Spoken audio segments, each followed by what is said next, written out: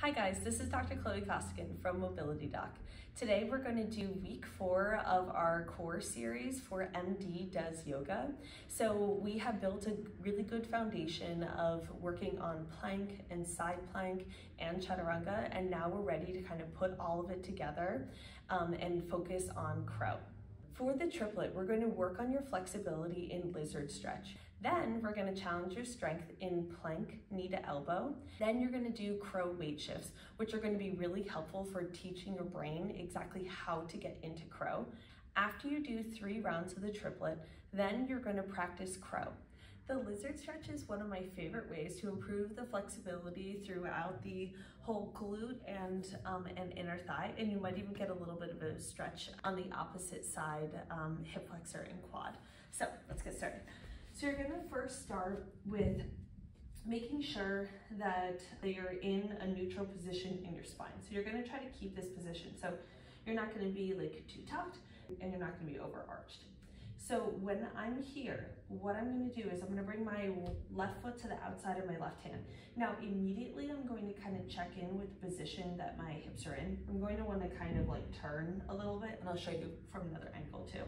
But as much as I can, I'm trying to keep this um, I'm trying to keep my pelvis even. You might even want to put your hands up on blocks if that's not really that possible. Then I'm going to walk um, this right knee back. And now this whole time I'm trying to keep this knee over this ankle, so I'm not pushing back. And then I'm gonna lift this knee up. I'm gonna push my left leg to the outside, so then that way I can get a little bit more of a stretch. Now, from the front, that looks like this. So I'm here, my left foot is to the outside of my left hand. And now I'm really trying to think about, I'm like pushing this knee up to the side and I'm trying to drop this hip down a little bit because that is what's going to be really helpful for getting um, getting in like say a squat position or um, or anything that, that you need in terms of being able to be in like a deep hip flexion then you're gonna lift that knee up. As soon as you do that though, like this whole hip is going to wanna kind of hike up. As much as you can, you're gonna try to drop this inner thigh down toward the ground. And you might also want blocks in order to be able to keep that a little more even. Plank knee to elbow is a great way to improve some of your core stability and we're going to make it a little bit more challenging because we're going to add an element of some type of moving um, body part. So in this case, we're going to be moving from the hip. Let's get started. So I'm gonna, um, the thing that I'm going to be focusing on most, and I'm gonna show you first in this position, is that when I bring my knee to my elbow, I'm making sure that that movement is just coming from my hip. So I'm not moving from my back as I do that. So I'm gonna get started in this plank position. My shoulders are over my wrists, the back of my neck is long. I'm pressing in through the ground. And now when I'm here, I'm going to bring my knee in toward my elbow and then come back. Knee in toward my elbow and then come back. Now, this is what I see happen most frequently is you kind of start to move the spine. The thing that I'm prioritizing is just the movement coming just from my hip. So that might mean that you don't necessarily touch your knee to your elbow. That's fine. The thing that we're focusing on is just moving from the hip and not compensating from the back. Crow weight shifts are helpful for teaching your brain exactly what it needs to do in order to be able to get into crow pose. So um, the way that it works is that your brain has to first be able to attain a position before it can maintain it. So this exercise will help to highlight the like exactly how you need to get into crow pose before you can start to focus on staying in that position. So let's get started. You're going to start by sitting in this kind of squat position. I'm gonna show you first from the side and then I'll show you um, from, the, from the front as well. So you're gonna be in the squat position. You need to make sure that your pelvis like isn't already kind of rounding. I wanna make sure that, I, um, that I'm rotating my hips forward so the tip of my sacrum is pointing back. And then I need to try to get as deep as I can into hip flexion without rounding. So make sure that your hips are, um, are good and warmed up. Now already I'm trying to bring my knees as high on around my shoulders as I can. Then I'm going to start to walk my hands back. I'm gonna place them. And then you see how like as I'm coming up, and you might even need to play around with where your hands are, as I'm coming up on my toes, I have to start to shift myself forward. So if my hands are too far out in front of me, I'm not gonna be able to shift forward, okay? But if they're too far back, now my knees aren't on my, on my shoulders. So I'm gonna be here. And now what I'm doing as I'm shifting forward is I'm trying to squeeze my legs in toward my, toward my arm as I start to lift up. So I'm gonna squeeze my legs in and now I'm shifting forward onto my toes.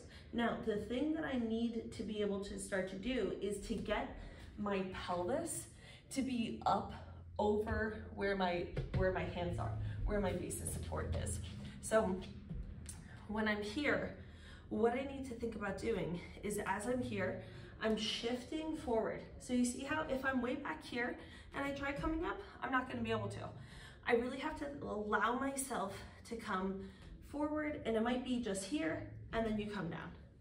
And then you can try lifting, back up, and then come down. Even just the littlest bit is going to start to teach your brain exactly how much it needs to shift forward in order to be able to get that weightlessness. For the triplet, we're going to work on your flexibility in lizard stretch. You're going to hold this for 30 seconds on each side.